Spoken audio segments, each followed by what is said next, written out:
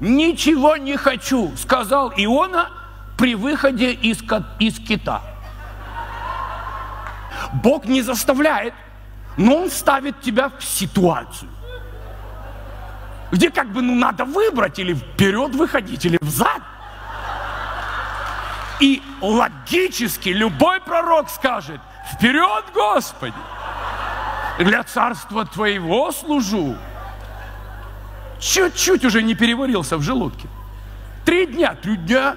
Это какой медленный метаболизм у этого кита. Я не знаю, у меня все за час уходит. Я думаю, Бог мой, это, это представь, это кит с запором плавает три дня.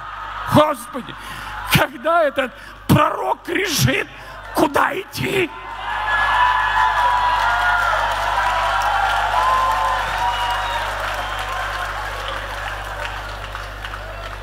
Бог говорит, подожди еще денек.